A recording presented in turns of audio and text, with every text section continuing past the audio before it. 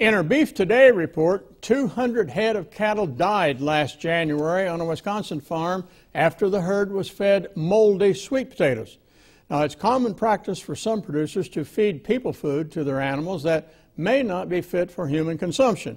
In this case, there was a toxin in the moldy batch. And that said, sweet potatoes can be safely fed to cattle.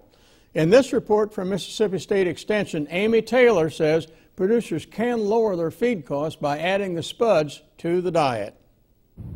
Cattle producers in Mississippi are gathering information about how to properly feed sweet potatoes as an additional feedstuff. There was a recent story in the news about some cattle that died from eating sweet potatoes. And of course in Mississippi, sweet potatoes is a very popular crop. And we have a lot of cattle producers who consider feeding that as an alternative feed. Parish says the death in the Wisconsin herd in 2011 was from eating moldy sweet potatoes. She assures that feeding them to cattle is indeed safe when done right. You want to make sure that you don't feed frozen sweet potatoes, number one, because of the choking risk. Also, what will help reduce the choking risk is if you can chop those, maybe run them through a silage chopper.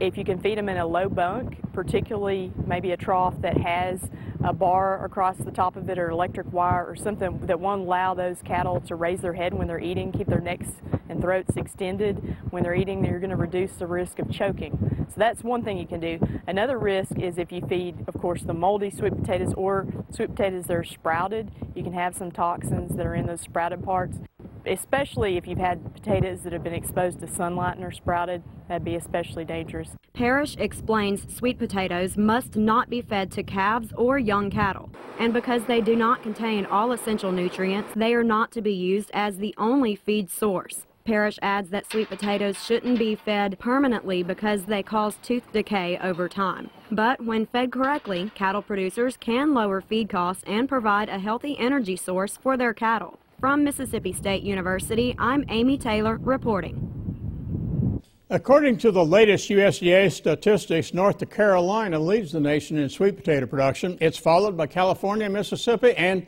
Louisiana. Now, you can get many more updates on the beef industry, including market and production information from our partners at beeftoday.com.